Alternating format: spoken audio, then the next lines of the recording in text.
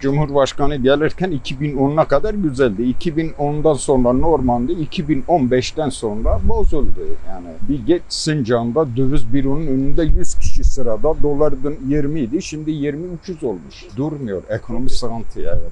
Ekonomi hakkında düşünecek hiçbir şey yok. Görüyorsunuz ortamı. 1 kilo peynir 200 lira olduysa 5 kilo şeker 15 liradan 200 liraya çıktıysa ekonomi diye bir şey yok.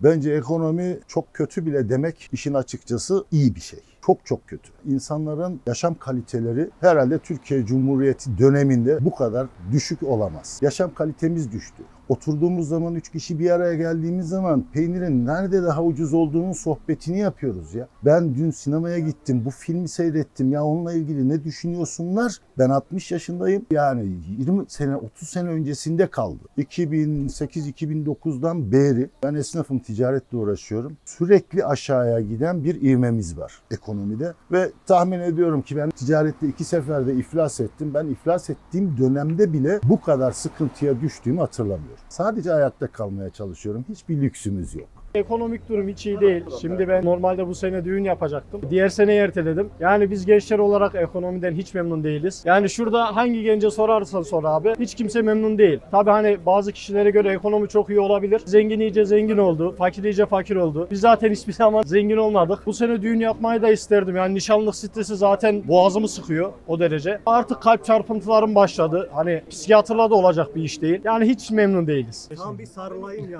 Gel abi. Vallahi sarılam sana ya. Kur'an çarpsın az daha konuşsam ağlayacağım abi. Vallahi ben hiç iyi değilim. O partiymiş, bu partiymiş inan hiç umurumuzda değil. Biz abi sadece iyi bir hayat istiyoruz. Sadece hayalimiz artık geçinebilmek abi. Hiçbir şekilde başka bir hayalimiz yok. Ya bence ekonomi yani hayat pahalılığı var ama bence ekonomi iyi. Neden iyi? Çünkü herkes altında son model arabalara binebiliyor yani. Her evde iki araba var mesela. Son 4-5 yılda abi hani biraz ülke tabii kötüledi ama dolar bayağı yükseldi. Ama yani bence ekonomi yani. Herkes her şey alma gücü var yani ama tabii şey hayat pahalılığı da var yani o da bir gerçek. Ekonomimiz şu an Türkiye'de hiç iyi değil. Çünkü ben İsviçre'de yaşıyordum. Yaklaşık 3 ay oldu Türkiye'ye dönüş yaptım. Karşılaştırmak gerekirse mesela insanlar orada bir kutu kolayı bir franga içiyor. Burada 18 TL'ye içiyor. Yani birim olarak bakarak 18 katı para veriyor. Burada bir kola alıyor. Oradaki bir vatandaş 1 lira verip bir kola alıyor. Yani şu an alım gücü Türkiye'de sıfır. Hiçbir şey alamıyor insanlar. Yani askeri ücretle yaşam şartları birbirine uymuyor. Bir gün kiralar 5-6 bin lira. Sadece bir insanın kirası elektriği suyu zaten askeri ücrete yetiyor. Ekonomi bana göre çok iyi çalışan için. Ben emekliyim, ben çalışıyorum. Kafeler dolu,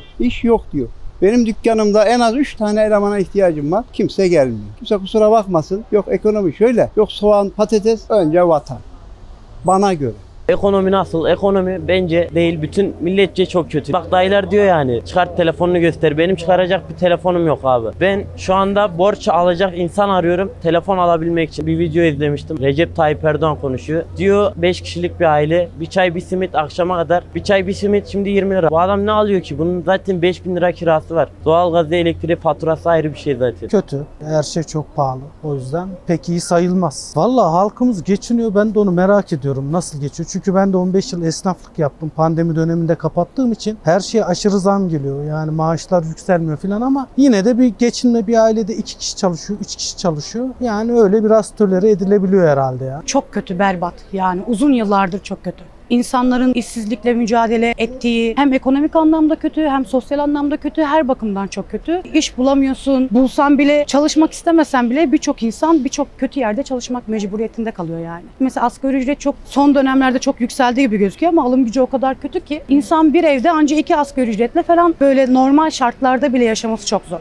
Ekonomi iyi değil. Ben başta bir genç olarak söyleyeyim bu durumu. Arkadaşlarla oturup 3-4 liraya içebileceğimiz çayı 20-30 liraya içiyoruz. Sadece mekana para veriyoruz. Artı çayın üretim parası her şeyi belli. Bize neden bu şekilde pahalı geliyor? Bana mantıklı gelmiyor. O yüzden ekonomi iyi değil benim için. İnsanların geçim durumu kimine göre iyi. İyi olan da kredi kullanıp iyi olarak kullanıyor kendini. O yüzden geçim durumu da iyi değil insan. Mevcut olan sistem değişmesi lazım. Neden diyeceksin? Şu an 8,5 lira olan asgari ücretle adam bırak bir ayı 15 geçinemez. Neden? Hepsi herkes. Sistemi değişmesi yani fazlasıyla aşmış bir durumdayız. Şu an mevcut sistem gidip yeni bir sistem kurulmazsa herhangi bir parti gelmesini istemiyorum. Ama sistem mevcut olan hükümet değişmesi lazım. Halk sıkıntıda şu an çarşıdan geliyorum. Herkes bir ayakkabı, bir çorap, bir şey kaldığı gibi gibi bırakıyor. Markete alıyor, iki parça alıyor, üçüncü bırakıyor. 200 milyona bir kilo peynir alamıyor. Şimdi kim ne dese desin. Benim dediğim gibi şu an Allah nasip ederse 20 kaç gün kaldı. Allah nasip eder yeni bir ışık, yeni bir Türkiye bir değişim gelecek. Geçen ben kendim bir çeyrek altını 1860'a bozdum. Dün aynı çeyreği alacaktım 2140 bir hafta içerisinden. Buna ekonomi deri farklı bir şey mi denir? Yani bir haftanın içine gelen farka bak. Bu para nereden geliyor, nereden gidiyor? Bu ekonomi neyle ilgili? Ben yapıyorum demiyorum. Kim yapıyor? Erdoğan yapmıyor diyorlar. Erdoğan yapmıyorsa bunu kim yapıyor? Bunu nereden yapıyorlar? Bunu kim yapıyor? Yani nerede bizim için fark etmez. Bizim cebimiz yandığı zaman, bir şey almadığımız zaman ya bir haftada bir çeyrek altına 350 milyon para fark gelir mi? Bir hafta sonra ne olacağını belli mi? Bunu bir seçimi bahane ediyorlar, bunu bahane ediyorlar. Hiç bahaneyle bir alakası yok bunun arkadaş. Millet akşam bir aç karnına mı, tok karnına mı yata gireceğini onu hesaplar. Başka bir şey hesaplayamaz. Tekrar dediğim gibi mutlaka mutlaka 14 Mayıs'ta herhangi kim geleceğini demiyorum. Hakkımızda hangi hayırlısı hangisi odur ama mevcut şu an sistem değişmesi lazım. Allah nasip ederse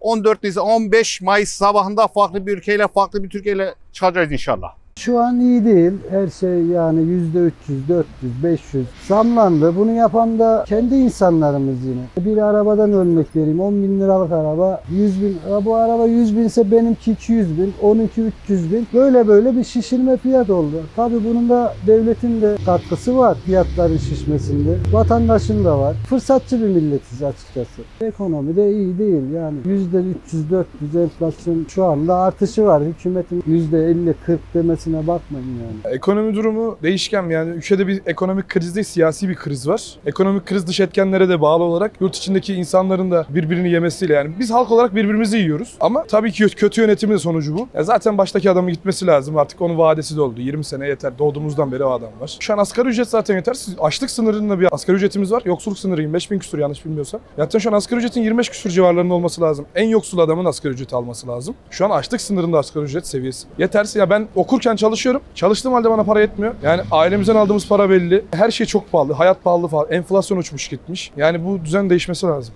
Ekonomi iyi değil tabii ki. İyi diyen insanların da ben mantıklı bir bakış açısı olduğunu düşünmüyorum ekonomiye karşı. Asgari ücretle geçinmek imkansız. Büyük şehirlerde daha da durum vahim. Zaten Türkiye'nin genç nüfus olduğu belli. Bu genç nüfusun neredeyse %60, %80'ine yakında. E, tek kurtuluşu yurt dışında görüyorlar. Çok kötü. 23 yaşındayım. Esnaf kuryelik yapıyorum. Ben 23 yaşında olmama rağmen herhangi bir ev kirası veya fatura ödemememe rağmen geçinemiyorum yani. Şu an evlenme gibi bir hayalim falan yok. 96 model araba 200 bin lira. Hiçbir hayalim yok yani. 23 yaşındayım. Sadece günümü kurtarmak için çalışıyorum. Hiçbir hedefim falan yok 23 yaşındayken henüz. Geçim olarak inanın gelin gidelim ben de dahil hiç kimsenin dolabında canını istediği yok. Bunun yani biz her şeyi Avrupa olarak kıyaslıyoruz da biz neden istemeyelim yani bir rahatça yaşamayı? Doğru değil mi? Şöyle düşünüyorum. Atıyorum en basiti bir soda. Doğru mu? Bir sodayı biz 3 TL'ye alırken bugün bir soda 10 lira oldu. Doğru mu? 3'e katladı. Bir şekeri bir yağı herkes bununla eleştiri yapıyor ya. Ben de buradan yola çıkayım. Bunu 3'e katladı. Bugün asgari ücret de 3'e katlasın 15 bin lira 20 bin lira alalım. Ben de geriye dönük alacaklarımı alayım.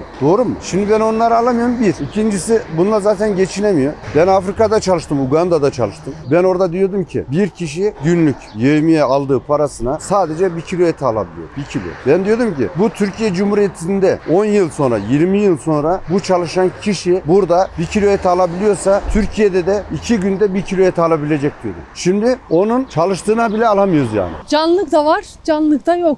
Yani alınıyor ama her şey boş yani. Yine cepler boş. Yetiyor mu maaşlarınız? Ha, Emekli Tabii ki yetmiyor. memur maaşları. Yo yo yetmiyor. O konuda yetmiyor hayır maalesef. Ya alım gücü maalesef iyi değil ama inşallah değişecek yani. Yani inşallah daha iyi olacağız diye düşünüyorum.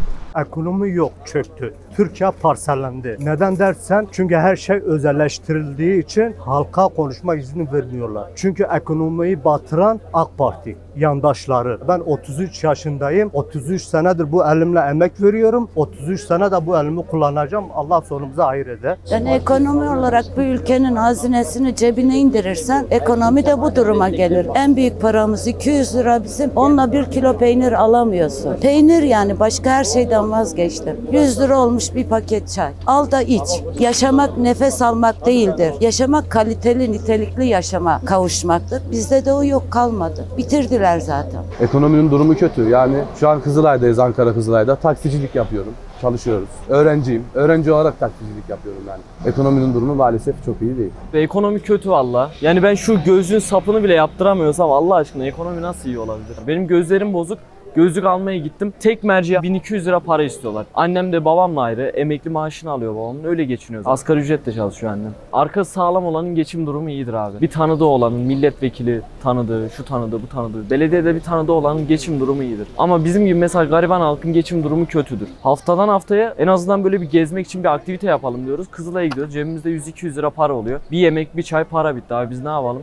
Ekonomi fevkalade perişan bir durumda. Ha bak hemen yanımızda berber var. Saç sakal tıraşı 150 lira olmuş. O kadar diyor. Valla bugün sabahleyin kalktım pazara gittim. Esat pazarına. Bir tane kişniş 10 lira. Kişniş. 30'luk yumurta 80 lira. Allah yardımcısı olsun 8,5 lira asgari ücret alanın. Hani en çok da diyorlar ya below diyenler bu ülkenin için edenlerdir. Ekonomiden bilmeyen, hep birbirlerini avuç açmış, hep dilenmeye alıştırılmış. Son çeyrek asırdır böyle onurlu Türk milletini bu hale getirdi el açan, akşamları pazardan çürük çarık toplayan onursuz bir topluluk haline getirdiler. Ben üzülüyorum. Ekonomi diye bir şey kalmadığını görüyorum. Her gün her gün daha kötüye gidiyoruz. Dolayısıyla çok kötüye gidiyoruz. Düzgün bir seçim yapılarak normalleşme sürecine girmemiz gerekiyor. Ekonomi vallahi dünyada pahalılık olduğundan dolayı bizim ülkemizde de maalesef ekonomi bayağı yüksek. Yüksek olmasından itibaren de devletin yeteri kadarıyla da denetleme yapılmaması. Mesela soğanların çöplere atılması gibi vatandaşı zor duruma koyan toptancılar gibi. Atıyorum Tarım Bakanlığı 77 bin lira ceza yazmış. Nereye kadar yazacaksın? Nereye kadar gideceksin? Alsana,